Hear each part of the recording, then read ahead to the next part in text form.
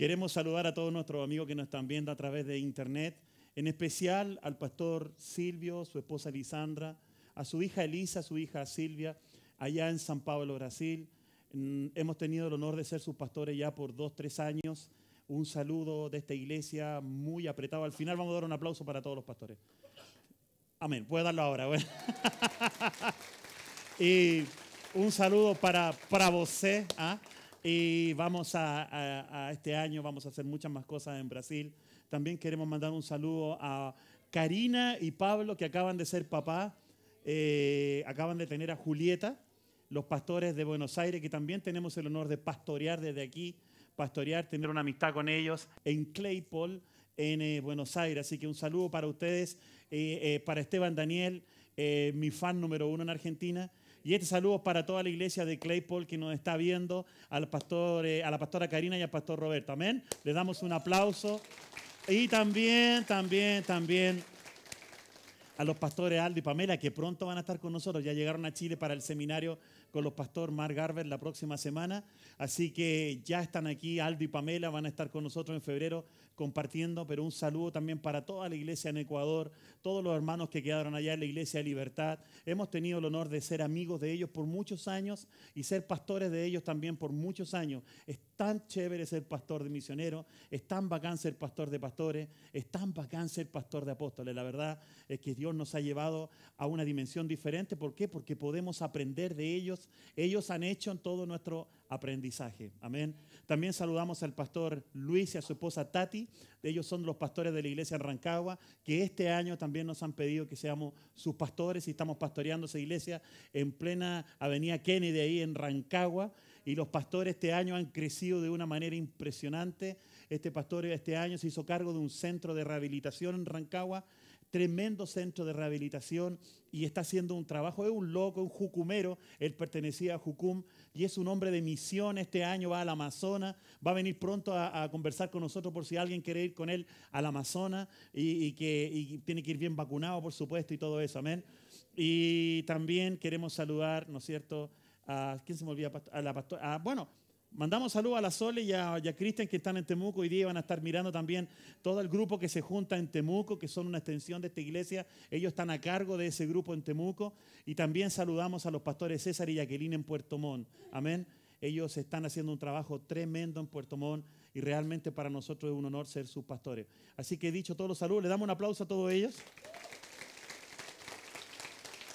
Y le damos un aplauso a todos los que nos están viendo por internet. Dígale, te lo vas a perder, dígale nomás fuerte. Ya, ok. Porque va a ser tremendo lo que vamos a vivir hoy día. Pero ellos van a tocar algo por internet. Amén. Amén. Saludamos también al ministro Rubén Maravilla, su esposa, al pastor Jorge Sori y su, esposa. Y decir, oh, profeticé. Y su esposa. Gloria a Dios. Así que le mandamos un saludo a todos y a todos nuestros amigos que nos están viendo. Bueno, Dicho esto, también queremos saludar a toda la colonia que ha venido de Colina. Pueden saludar, mover la manita.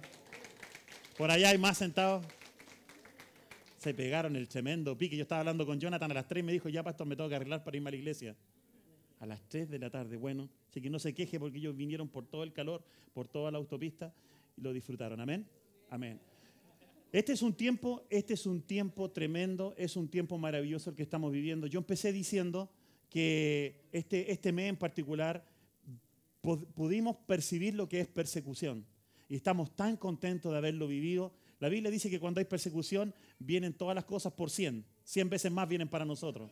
Así que estamos contentos de estar sufriendo persecución porque vienen muchas cosas y también significa que le dimos donde le duele al compadrito este que está derrotado.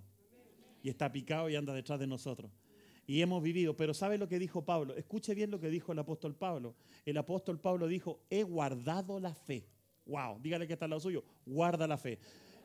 ¿Qué quiere decir eso? Mantente creyendo que Jesús es suficiente. Y todos nosotros, no mire para el lado, pero todos nosotros hemos sido tentados este año para tratar de arreglar nuestra vida con nuestras propias fuerzas. Yo también he sido tentado a, que el problema que tenemos, o sea, no el problema, lo que tenemos que hacer con la radio, tratar de solucionarlo en forma eh, con el marketing. Y el Señor eh, hace unos días atrás me tuvo que decir, no es tu mente, es yo cómo lo voy a hacer. Yo te abrí las puertas en esa radio. La radio, ustedes saben, subió a un millón quinientos, estamos pagando un millón y tenemos que creer por 500 más. Y el Señor dijo en nuestro corazón que esto es nada para Él. Y, estamos creyendo, hermano. ¿Sabe que hay 7 millones de personas que pueden escuchar ese programa? 7 millones de personas que pueden escuchar ese programa. ¿Y sabe qué? Todos. ¿Yo por qué le digo esto? No para que usted se diga, ay, pucha, que no. No, no se preocupe si a lo mejor Dios va a traer el dinero de otro lado. Pero escúcheme, déjeme decirle algo. Quiero mostrarle que yo también he sido tentado a lo mismo. A salirme de la fe en Cristo y tratar de arreglarlo yo con mis propias uh, fuerzas con mi marketing, con mi inteligencia, con mi ingeniería, pensando cómo lo hago, marketing, web marketing en internet, hay que hacer esto, hay que hacer lo otro. Y de repente el Señor me dice, ¿cómo te metí ahí? Fuiste a preguntar algo y yo te introduje ahí. Yo lo hice, yo abrí la puerta para ti. Amén. Y de repente empecé a recordar que toda la gente, todos los empresarios que han venido y que me han dicho, yo pongo tanto dinero, yo pongo tanto dinero, todos salieron de su corazón. Dios tiene gente ya lista para pagar por esto y mucho más. Usted se asusta por un millón y medio y cuando tengamos que pagar siete millones por estar en Televisión Nacional de Chile. Y Dios va a traer a alguien. Dios, si Dios tiene gente millonaria en todas partes. Amén. Era un buen momento para decir, aquí hay uno. Sí, amén. Deben estar en algún lado. Todos miran para el lado. ¿Dónde estará ese millonario? Era un buen momento para decir, yo soy ese. Amén. A mí me gusta lo que una hermana de esta iglesia dice, pastor, mi empresa le va a pagar el programa de radio. Y siempre que me lo dice le digo, amén hermana, amén hermana, amén hermana, amén hermana. No le voy a decir, no hermanita, no se preocupe. ¿Qué van a decir los demás? No me importa lo que los demás. Dios sabe lo que está haciendo, amén. Entonces, ¿por qué digo esto? Para mostrarles que todos nosotros, este 2017, tuvimos la oportunidad, fuimos tentados a tratar de arreglarlo con nuestra fuerza y con nuestras manos. Pero el mensaje que ha sido repetitivo llega a ser casi pesado. ¿Cómo se dice? Majadero. Majadero repitiendo, Jesús es suficiente, Jesús es suficiente. Muchas veces tenemos que decirlo mil veces, porque incluso a nosotros mismos tenemos que repetirnos, mirando al espejo y decir, Juan Carlos, Jesús es suficiente. Y usted dice, otra vez va a hablar de la gracia, porque no hay otro tema en la Biblia.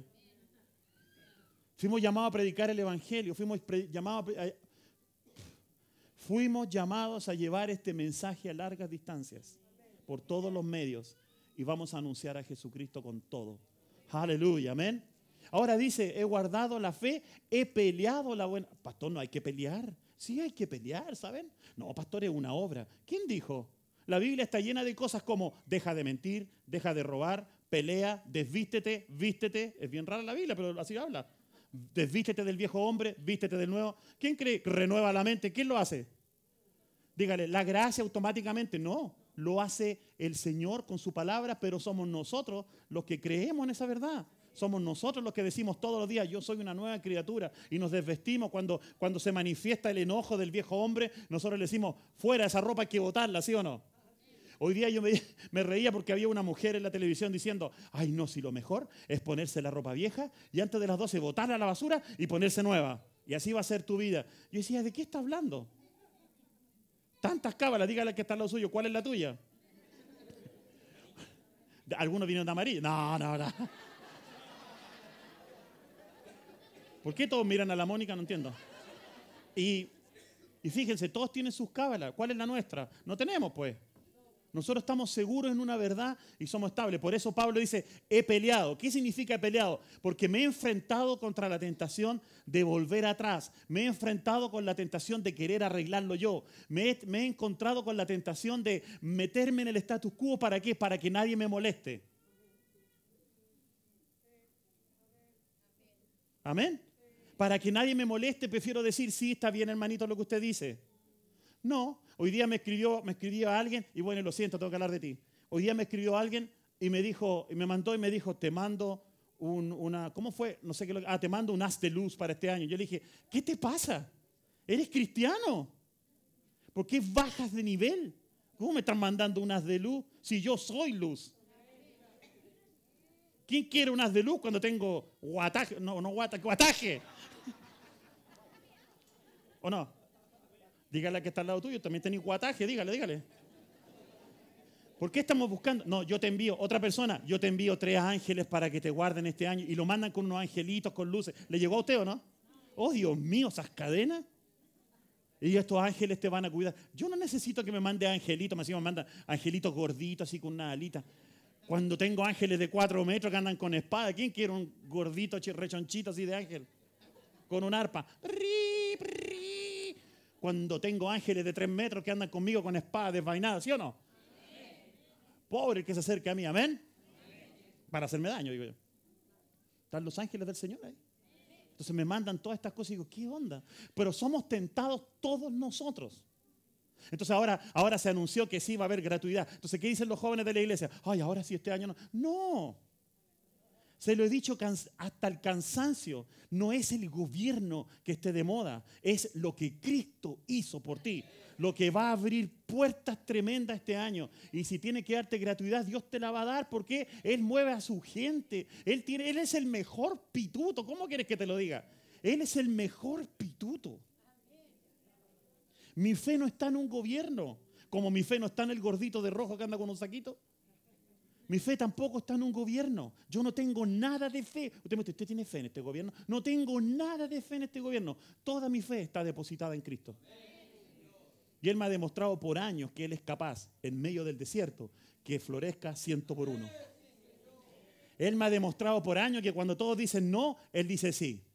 Él me ha demostrado por años que Él es capaz de hacerlo, hermanos. Entonces dígale, dígale, dígale a su mente, cállate mente. Bueno, dígale a la mente, pues dígale, cállate mente. Aproveche decirle al de al lado también, calla la tuya.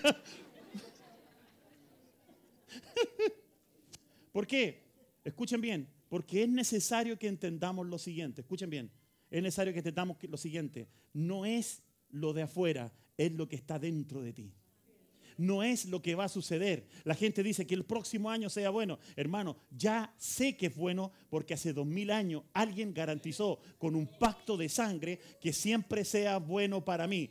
Por eso es que yo nunca pierdo. Por eso es que yo siempre gano. Por eso es que voy de gloria en gloria y voy de victoria en victoria. No por mi cuenta, porque mi identidad. Si ese es el problema de la iglesia, se llama crisis de identidad. No se ven como hijos bendecidos. No se ven como hijos prósperos. No se ven como hijos del Dios Altísimo. Se ven como el siervo que tiene que ganarse todas las promesas de Dios y tiene que calificar para que las promesas vengan y las promesas se cumplan. Sí, Dios me lo prometió, pero yo tengo que hacerlas cumplir, porque no las ven cumplidas en Cristo. Amados hermanos, no somos nosotros, es Cristo el que lo tiene todo. Y Cristo dice, escóndete detrás de mí, yo tengo todo, tú eres coheredero conmigo tú lo tienes todo. Yo no estoy esperando nada de este gobierno, ni de si hubiera salido tampoco el otro ni el otro. No estoy esperando nada de nadie. Yo lo tengo todo en Cristo. El cristiano no le falta nada, porque Jehová es su pastor. No, Jesús es su pastor y nada le falta.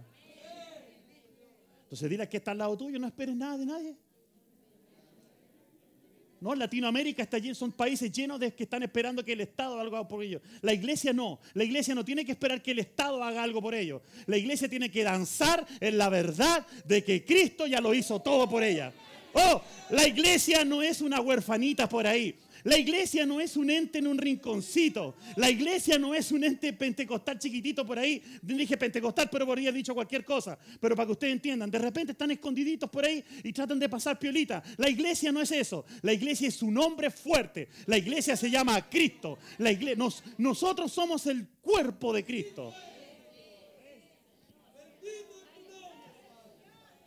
Escúchame bien, no somos ese, grupito chiquitito. Es que, es que es que hermano, tienes que salir de toda esta cosa y dejar de pensar esto, lo otro, aquí, y si hago esto, si hago esta movida.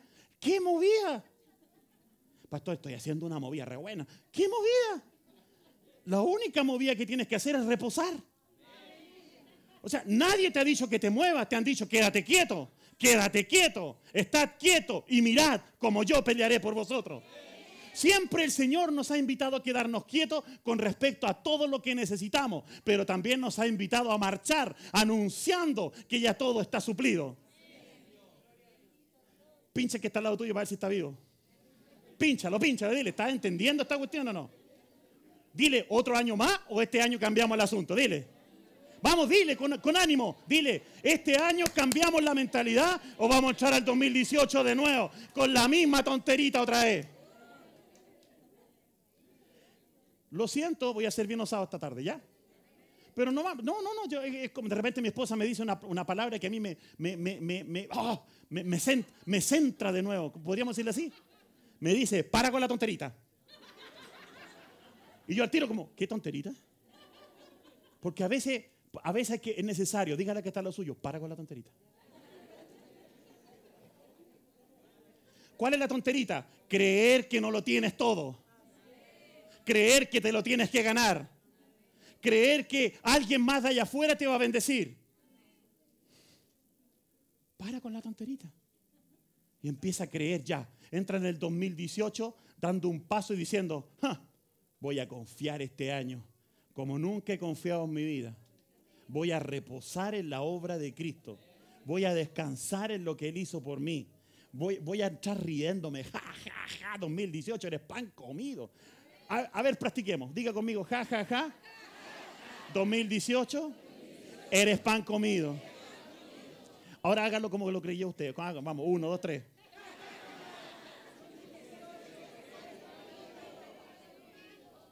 Wow. Es un año de... El Señor nos dijo hace pocos días atrás, es un año de puertas abiertas para evangelizar. Es un año tremendo, hermano. Si ustedes pudieran cerrar sus ojos y mirar lo que viene, pero tienes que entrar confiado. ¿Cómo entramos en este año? No entramos, ya lo que no logré el año pasado lo logro este año.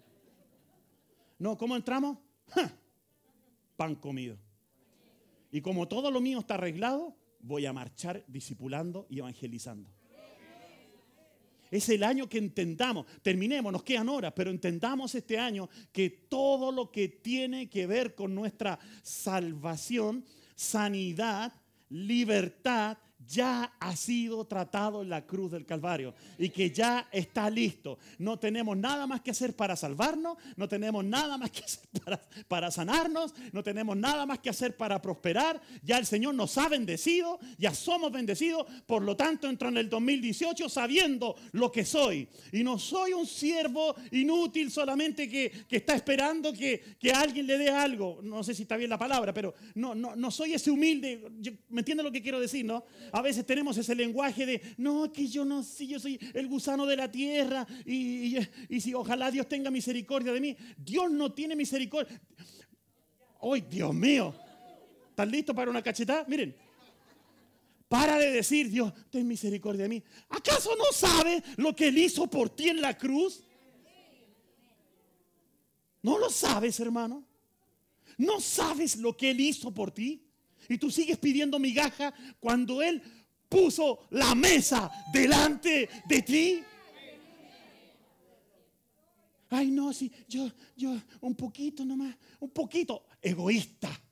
Porque estás pensando en un poquito para ti cuando hay un montón de gente que alcanzar. Tienes que decir que venga nomás, que venga. Y si se llena, alguien la necesita.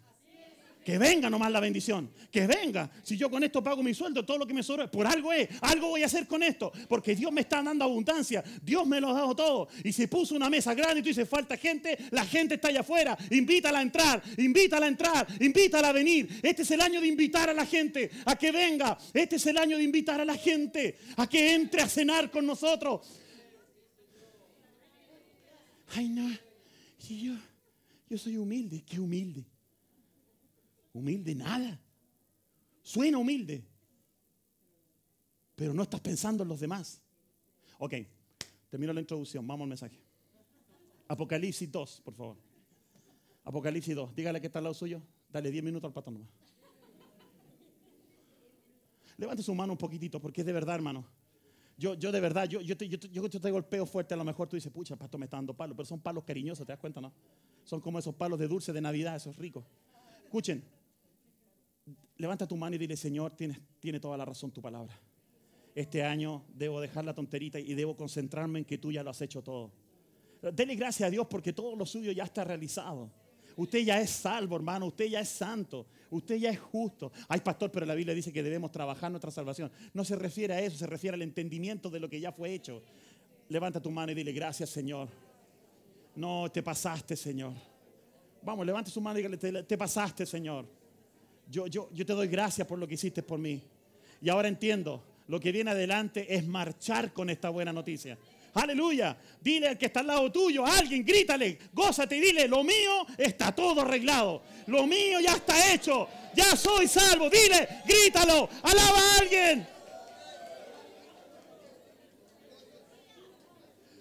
Hermano. Ay, pastor, no me grite. Pero antes te gritaban para condenarte, ahora yo estoy gritando para animarte. Antes gritábamos para que Dios se moviera, hoy día gritamos porque Dios se movió. Antes gritábamos para formar atmósfera, hoy día entendemos que el Evangelio ya ha sido todo dado. Hoy día gritamos porque entendemos. ¿Qué entendemos? Que lo tuyo ya está todo hecho. Dile que está al lado tuyo, yo ya tengo la receta. El doctor me dio la receta. a ver, ¿qué te recetó el doctor? Me recetó que repose.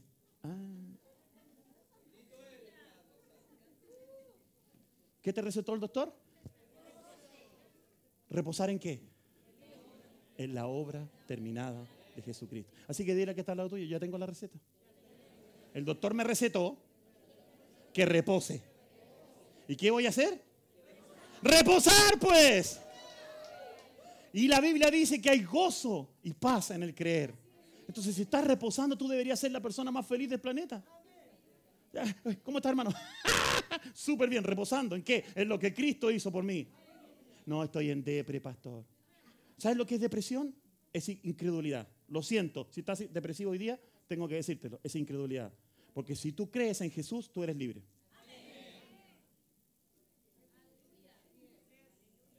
Hermanos, lo que pasa es que lo que Él hizo por nosotros es demasiado grande. Es que yo no sé cómo a veces decirlo, pero es que es tan completo, tan perfecto lo que Él hizo por nosotros. Ahora, mira lo que dice Apocalipsis 2, creo que el 1, hermano, por favor. Está aquí. Escribe el ángel de la Perdón, escribe al ángel de la iglesia en Efeso, el que tiene las siete estrellas en su diestra, el que anda en medio de los siete candeleros, dice esto. Escúchame, cuando Jesús habla y cuando nos ha hablado, ¿por qué traigo colación este verso? Y creo que tengo algunos más. Dijeron lentes por ahí, creo, Claudia. Miren lo que dice. Eh, ¿Por qué traigo colación estos versos? Porque yo quiero que veas quién es el que habla. Porque pareciera ser que a veces creemos que sí, Dios lo dijo, pero es como que sí, Dios dijo, pero no sé si lo irá a cumplir. Porque no sé, porque yo lo vi en la cruz derrotado totalmente y como estaba derrotado, yo no sé si Él puede cumplir sus palabras. A veces pensamos así, hermano. Y, no se hagan como que, no, yo no soy ese, porque yo sé que sí. Yo leo su Facebook. Y a veces colocan cosas que parecen que Jesús lo dijo, pero en realidad no sé si lo puede cumplir. Mira quién es el que habla, por favor. Yo no sé si tú te diste cuenta, pero Apocalipsis nos muestra al Cristo resucitado. ¿Quién es el que habla?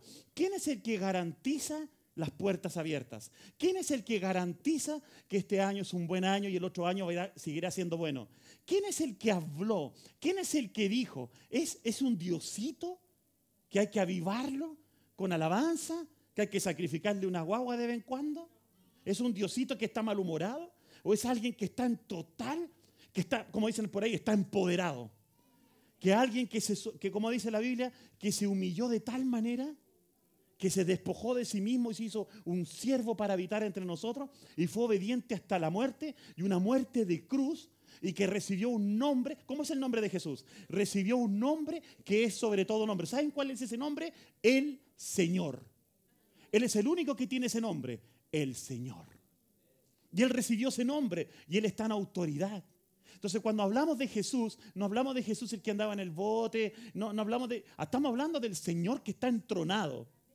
Y Él es el que garantiza toda esta predicación.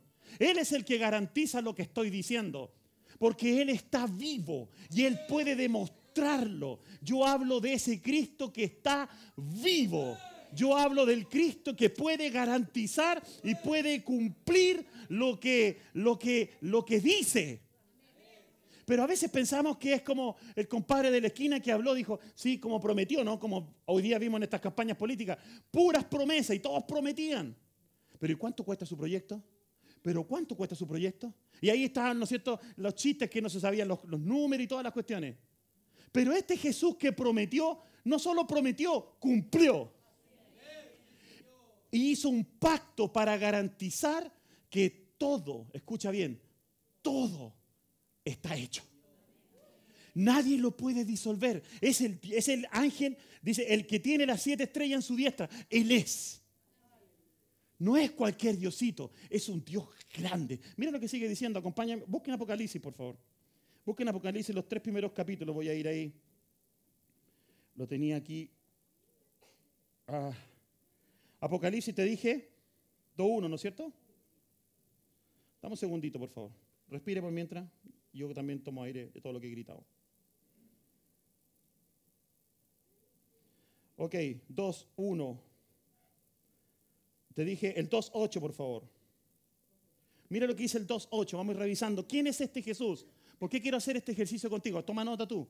Porque quiero mostrarte en el 2.8 también. Quiero mostrarte que no es. Quiero mostrarte que tengas fe estable en un Jesús maravilloso que puede cumplir todo lo que ha dicho. Todo lo que él ha dicho lo va a cumplir. Amén. No es una promesa de campaña. No es una promesa, evangélica. Hay gente que dice, no, que los evangélicos prometen esas cosas. Ven a Jesús y se te acabarán los problemas. Ven a Jesús y esto va a pasar como una promesa. No, estamos hablando de alguien que si quiere se para aquí hoy día y te demuestra que está vivo. Estamos hablando de alguien que resucitó y que puede cumplir y que este año, por puertas abiertas, se va a demostrar como nunca, como nunca, como nunca se va a demostrar. Y la gente va a decir, ¿Jesucristo sana? Sí, me sanó. Jesucristo sana. Jesucristo hace milagros todavía. Este es, el, este es el tiempo. ¿Por qué? Porque el mundo está levantando sus propios hechiceros y brujos, tarotistas, los está levantando para decir, nosotros podemos, pero Jesús vendrá un día y hará así, ¡pa! Se acabaron todos. Yo soy el Salvador. Y eso es lo que va a pasar. Yo lo veo, lo siento, no, sabe, no sé cómo expresarlo. No soy poeta, no, soy como, como Marco, que Marco le digo una frase y me saca una canción. Yo, yo, yo no puedo. Yo tengo que decírtelo bruto, así. Yo lo que veo es esto. Veo que Él se va a demostrar a la humanidad. Y tú vas a tener que decir, ay, ay, ay. Ah, me tocó el Señor. Y no como me tocó el Señor, ¿me entiendes? Me tocó el Señor. No, te tocó y te tocó de tal manera que quedaste pálido. La gente viene prometiendo sanidad divina y milagros por años. Viene hablando de esto, y de lo otro. Y viene hablando y dicen cosas como, no, Dios es el sanador. No, ven a la iglesia y, y ¿cómo te fue? No, sí, como que tengo un dolor, se me quitó como el dolor. No, yo estoy hablando de cosas escandalosas. Estoy hablando de cosas, pero horripilantemente escandalosas. ¡Ah! ¿Me entiende? Estoy hablando de que Él, este Cristo, este Cristo que dice, yo soy el primero y el postre, mira cómo se habla de sí mismo. Él no tiene ningún problema en describirse. Yo soy el que tiene las siete estrellas. Yo soy el que vive. Yo soy, yo soy, yo soy el que tiene las llaves de la muerte y del infierno. Yo soy el todopoderoso. Y yo voy a cumplir mi palabra. Si yo dije que mi sangre era suficiente, mi sangre es suficiente. Hermano, descansa. Descansa. Escúchenme, escúchenme. Todos sus pecados han sido perdonado, pasado, presente y futuro. Aún los que no has cometido ya fueron cancelados por mi Cristo en la cruz. Y Él ya lo hizo y Él puede demostrarlo. Él ya llevó nuestras enfermedades. Él ya sufrió nuestros dolores. Él ya se hizo pobre para hacernos ricos. Y estamos esperando. No, si, si más adelante, el próximo año. Este no fue tu año, hermano. Oye, qué barbaridad. Dile que está lo tuyo. Espero que no hables así. Dile que está lo tuyo. Espero que no. Este año no fue tu año, hermano. Y, encima le agregan el apellido. Espero que el próximo sí. Dígale que está al lado suyo. Cierra la boquita mejor. Te estoy mostrando que este Jesús, el primero y el postrero, el que estuvo muerto y vivió, dice esto. El que habló a la iglesia, el que transmitió el último mensaje fue Cristo resucitado. El mismo que hoy día podría manifestarse entre nosotros. que está sentado a la diestra del Padre y que se manifiesta a través del Espíritu Santo. El mismo Cristo, hermanos, no ha cambiado. Entonces entremos, entremos en el 2018 diciendo, si Jesús, este Jesús poderoso, me gusta cuando Jesús dice, soy el Hijo de Dios, el Todopoderoso. O sea, el Todopoderoso dijo que su sacrificio era suficiente. ¿Quiénes somos nosotros? Simples mortales con nuestra pequeña inteligencia, teología, diciendo, no lo que quería decir. Calla la boca.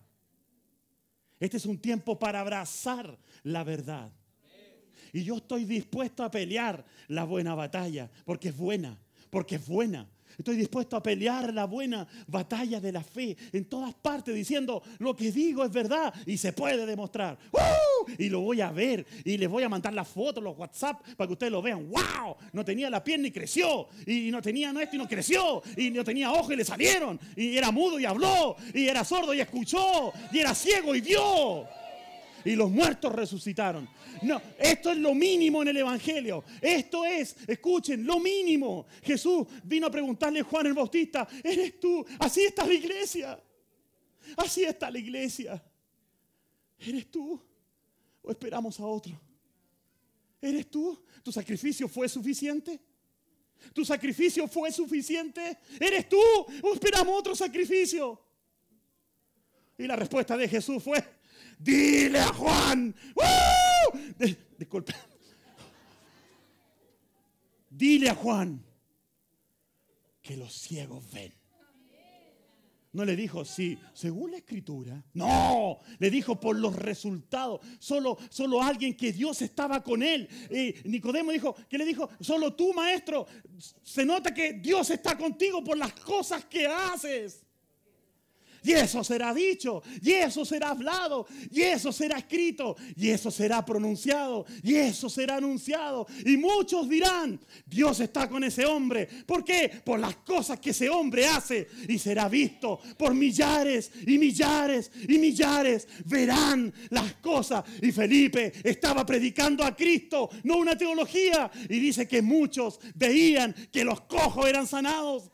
Los paralíticos hablaban. Ese es el tiempo. Pincha que está al lado tuyo y dile, wow. Así nomás dile, wow. ¡Wow! ¡Wow! Vas a estar orando, Señor, no tenemos pan hoy. ¿Quién es? Hermano, el Señor me dijo que te trajera pan. Pero si no he dicho ni amén.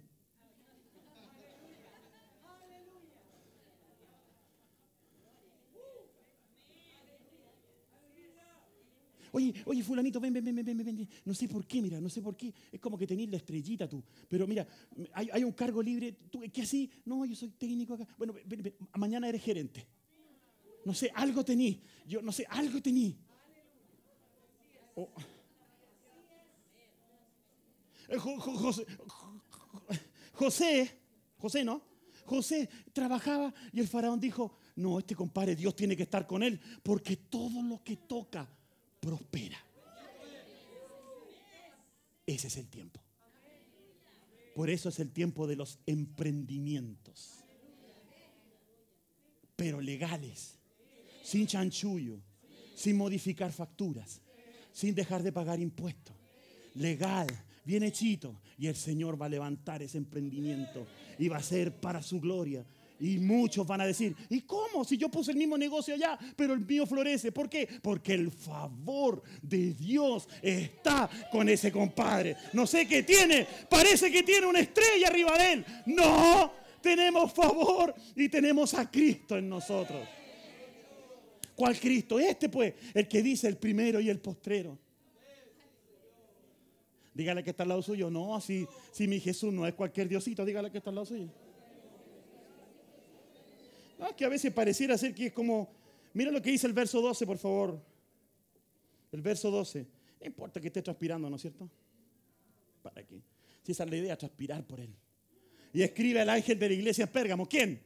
El que tiene qué? No, sí, no, sí, es un angelito gordito así con una arpita.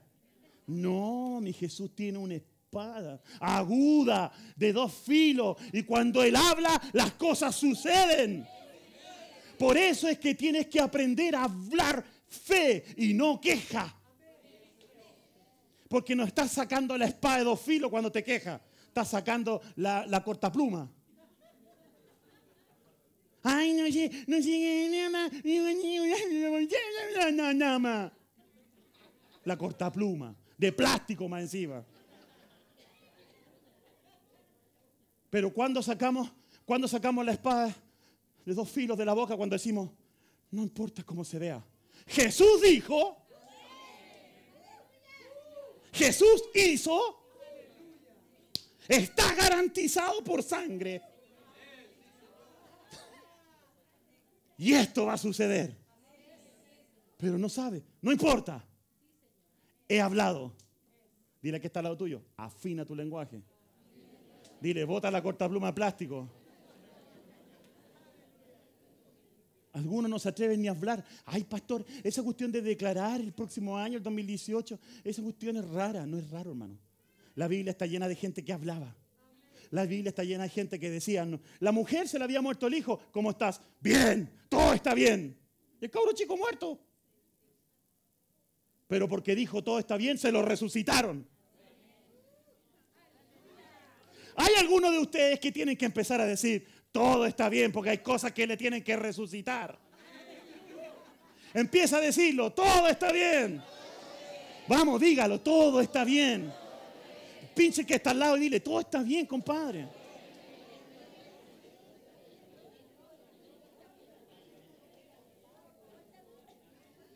Ay.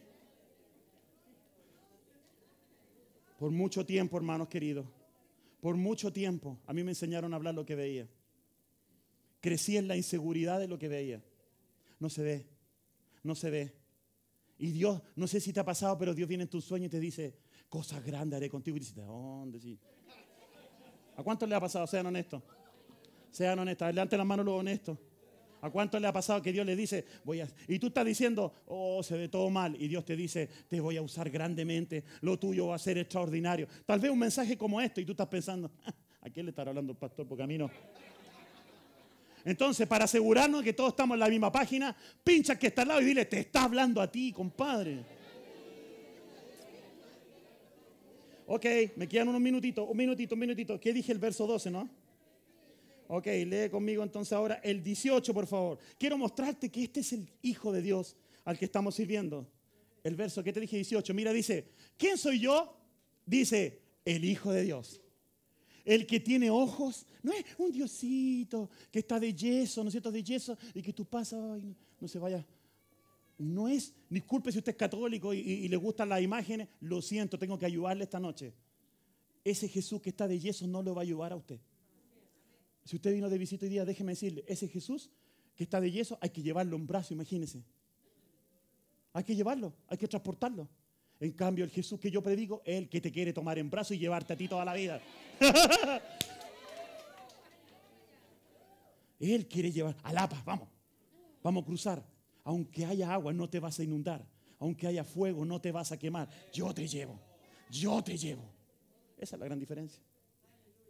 Dice el que tiene ojos como llama de fuego. Uh, dice, y pie semejante al bronce bruñido. Dice esto, ¿no? No es cualquier Jesucito, ¿se da cuenta? Él está vivo, Él es magnífico. Oh, cuánto quisiera verte, Señor. Cuánto quisiera verte. Bienaventurado el que cree sin ver, pero yo anhelo ver esta figura, a este Jesús. La Biblia me pinta uno que caminó entre la gente y todo, pero a este que está sentado en el trono diciendo, consumado es. Señor, y, consumado es. Yo no sé a usted si le ha pasado, pero de repente usted puede ir a un lugar y tiene que entrar y todos los que están ahí son desconocidos. Y usted como que le da plancha, ¿sí o no? Como que, ay, no conozco a nadie, qué sé yo. Pero distinto sería, por ejemplo, mi hijo o mi hija va a un lugar y está toda la gente ahí sentada, no conoce a nadie. Entonces como que entra así como, ¿no es cierto? Pero si mi hija mira que entre los que está sentado está su papá, ¿cómo entra? Totalmente confiada porque sabe que su papá ya arregló todo el asunto. Así entras al trono de gracia. Así vienes a la oración sabiendo que hay alguien que te representa, y sabiendo que hay alguien que ya lo arregló todo por ti. Entonces no vienes al trono, ay Señor, podrá ser. No, tú vienes al trono diciendo, hey, hay alguien que me representa, hay alguien que pagó la cuenta, hay alguien que lo arregló todo por mí. Ok, y eso pasó por arriba de la cabeza, yo sé, lo siento. Dile que está al lado tuyo, presta atención, quedan, dos, quedan dos versos, nada más. Dos versos, ¿ya? Que no dejes pasar esto porque esto es importantísimo. Vamos al capítulo 3. ¿Qué dice el 3? Veamos. El 3. Ok, vamos a terminar con este nomás. Para que. Porque hace calor, yo sé. Y vamos a gritar, ¿ya? ¿Cuántos quieren gritar? Pero vamos a gritar con inteligencia. 3-7. 3-7, no, hay que gritar, grito de júbilo. Uh, ¿Para qué? ¿Para derribar qué? ¿Para derribar qué? ¿Para derribar qué? ¿Para derribar qué? El muro, pastor. ¿Cuál muro? ¿Cuál muro? No, el gigante, pastor. ¿Cuál gigante? Al devorador, pastor. ¿Cuál devorador? Al que me enferma, pastor. ¿Cuál? ¿Quién? ¿El derrotado? ¿El vencido? ¿Me estás hablando del vencido? Hay gritos de júbilo, gritos de guerra. Eh, y el hermano, se da cuenta, ¿no? Y vamos, vamos, grita. Ni, sabes lo que está pasando, pero grita nomás. Grita nomás, compadre, grita. Algo va pasando. No, nosotros, nosotros damos voces de júbilo. ¿Por qué? Fruto de labios que confiesan su nombre. ¿Por qué? Porque sabemos lo que Él ha hecho por nosotros. Y sabemos que tenemos la victoria. Yo no sé usted, pero yo miro el 2018 y digo, pan comido. Y digo, uy, puertas abiertas para evangelizar por todas partes. Y lo veo, lo miro y digo, puertas abiertas, puertas abiertas, puertas abiertas. Yo miro para allá, puertas. Me han llegado tantas invitaciones. Hoy día mismo me acaban de invitar a ir a predicar a Honduras y a El Salvador una campaña evangelística. Luego me dice, tienes que venir. Y le digo, no puedo ir, no tengo la fecha para eso. Me acaban de invitar recién a enseñar a un centro de, centro de entrenamiento bíblico en todo el Brasil. Estoy invitado recién para ir puertas abiertas. Y se están abriendo puertas y puertas y puertas y puertas. Y siguen abriendo, y se siguen abriendo. Uh, esta cosa huele a puertas abiertas por todos lados. Es tremendo lo que Dios va a hacer. Es tremendo lo que ya está planificado. El pollino que necesitamos para entrar ya está provisto. El aposento alto que necesitamos para cenar ya está listo. En otras palabras, el local que necesitamos para más gente ya está dado por el Señor lo que tú necesitas ya ha sido provisto en Cristo. Y entramos con esa fe, entramos con esa confianza. Ahora, 3.7. Escribe el ángel de la iglesia en Filadelfia. Mira lo que dice, poquito lo que dice. Dice, esto dice el santo. Presten atención lo que dicen. El verdadero. Dice, el que tiene la llave de David. Punto. O sea, todo el reino. David representa al reino. Y dice, el que abre Ah, no, yo, léanlo ustedes, yo ya. Uno, dos, tres. ¿Cómo es? Otra vez. Otra vez. Miren eso. El que abre ninguno cierra. Y cierra y ninguno abre. ¿Qué pasa que Escuchen bien. ¿Qué está diciéndonos el Señor? Si Él dijo puertas abiertas, no importa las leyes que quieran amenazarnos. Hoy día nos llegó un aviso a todos los pastores. En Uruguay acaban de decir que ya no se va a poder predicar en las calles, ya sucedió en Rusia y, todo así. Ay, ¿qué vamos a hacer? ¿Cómo que vamos a hacer? Hermano, ¿qué vamos a hacer? No, por hermano, vámonos para la casa. Encerrémonos. ¿Para qué? Si tenemos miedo. ¿Tengo cara de miedo? ¿Tengo cara de miedo? ¿Tengo cara de que me falta plata para hacer todo lo que tengo que hacer? ¿Por qué? Porque Él abrió. Escuchen, Él abrió. Él habló. Él dijo. Escuchen, Él ya hizo. Y Él está sentado en el trono garantizando, garantizando este pacto. Él está diciendo, vayan. Y nosotros, pero vayan, todo está listo. Las palabras de los discípulos suenan más fuerte que nunca en mi corazón, chicos. Cuando el Señor Jesús le dijo, vayan, no lleven nada. Y cuando llegaron de vuelta les dijo, ¿les faltó algo? Pregunto, el 2017, ¿te faltó algo? Otra vez, pregunta. Los de acá dicen que no. Acá, veamos. ¿Le faltó algo al 2017? Porque dice la Biblia que nunca ha visto un hijo de Dios mendigando. Si eso era un pacto imperfecto, ¿cuánto más este que está garantizado por sangre del Cordero? Pregunto otra vez. Él les dijo, ¿les faltó algo? ¿Y ustedes creen que el 2018, ah, no, porque el 2018, pastor, eh, eh, el calentamiento global, pastor, y, Trump, pastor, y, el, coreanito, pastor, y, no, pastor, se están perdiendo los submarinos, y pastor, puede que llueva cuando no debe llover y la nieve, ahora están bajo menos 50 en Canadá. No, pastor, no, pastor, es que pastor, es que pastor. Ese es tu problema. Porque Él sigue diciéndote, sentado ahora en su trono, con sus ojos de fuego, resucitado completamente totalmente poderoso. Nuestro, nuestro Jesús, hermanos, es todopoderoso. Para Él no hay nada imposible. Pero absolutamente nada. Escuchen bien. Entonces, Él está sentado diciendo, no te va a faltar nada. Todo está provisto. Sanidad, yo pagué por eso. Libertad, yo te liberté. Sanar, por mi llaga, tú fuiste sanado. Perdonado, yo te pagué el perdón. Yo, yo pagué por todo lo tuyo. Sí, pero yo fallo, yo pagué por eso. Yo te liberté. Yo hice esto. Yo hice esto. Y tú todo empiezas. Sí, pero yo lo hice. Sí, pero yo lo hice. Sí, pero que yo lo hice. No, pero yo lo hice. No, pero que yo lo hice. Yo lo hice. ¿Entiendes? Yo lo hice. Entiéndelo. Ya lo hice. Y ese es el dominio. Levanta tus manos y alaba a Dios. Y dile gracias Señor porque tú lo hiciste. ¿Y sabes lo que pasa? Escucha lo que pasa cuando entiendes que Él lo hizo. ¿Sabes lo que pasa? Cuando entiendes que Él lo hizo, ¿sabes lo que pasa? Tu corazón se alegra. Porque ya no lo tienes que hacer tú. Alaba a Dios. Porque ya está hecho. La sanidad ya está provista. La libertad ya está provista. El milagro ya ha sido provisto. Ya está hecho. Ya está hecho. Ya está hecho. Y si tú estás aquí esta noche por primera vez o esta tarde por primera vez y nunca has tomado la decisión seria de venir a este Cristo que está resucitado, no una religión muerta, escúchame, no una religión muerta, sino más bien a un Cristo vivo. Si tú estás aquí esta noche, escúchame bien, y nunca has tomado la decisión de recibir el regalo de la salvación, esta es tu noche. No es casualidad que estés aquí. Dios preparó todo esto. Dios me hizo gritarte. ¿Para qué? Para que entiendas de que Él ya lo hizo. Y tú solo debes recibir el regalo.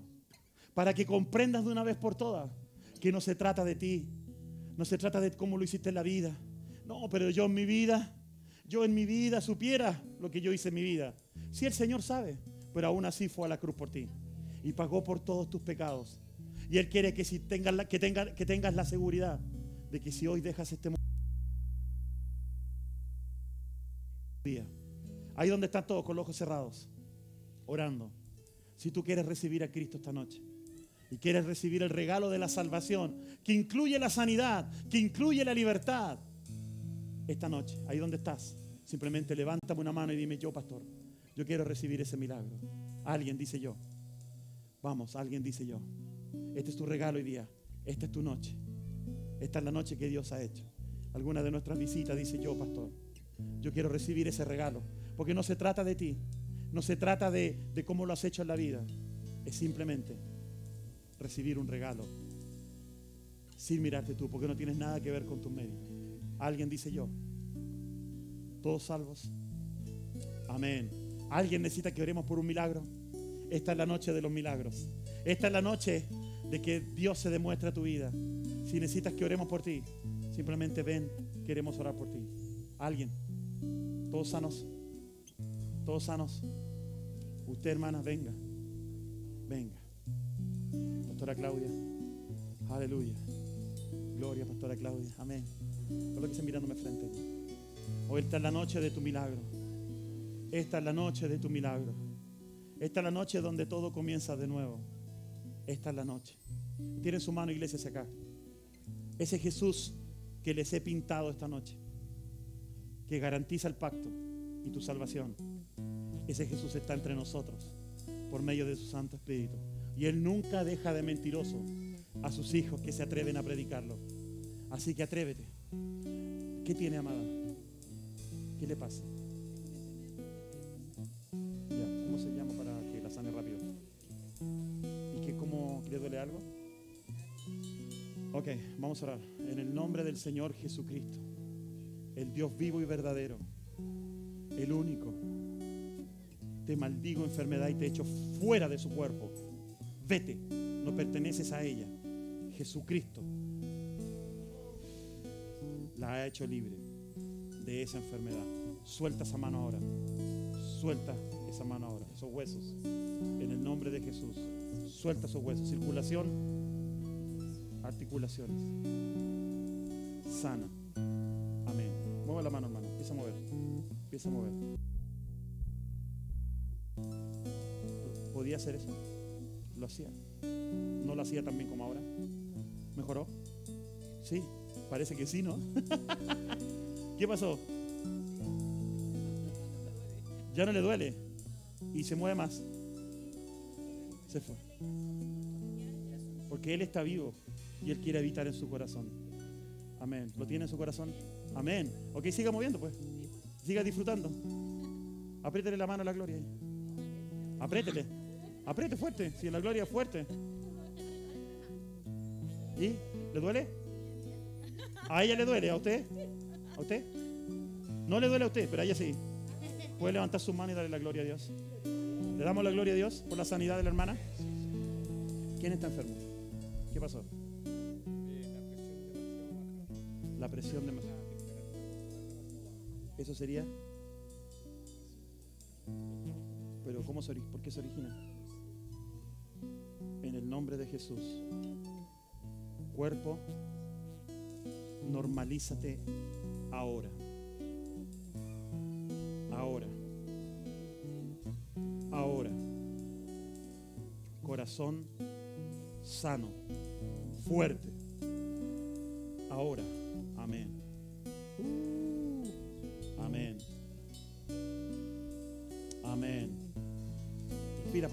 Algo que no podías hacer. A ver.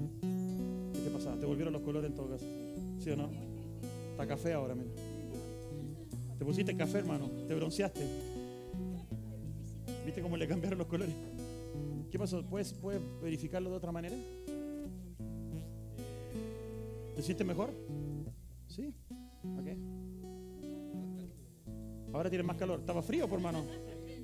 Eso es bueno si te volvieron los colores. Está más bronceado que el Jean Paul. ¿Qué vamos a orar?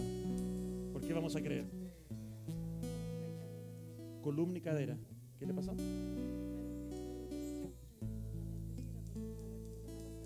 ¿Mm? Las últimas cuatro vértebras no tienen no tienen el, el líquido ahí para que se muevan. ¿Cómo se llama eso? De, es como una resina. No tienen esa resina. Ah, bueno, pues ¿sabe qué? Yo estuve en Argentina hace, hace tres semanas y salió un hombre igual.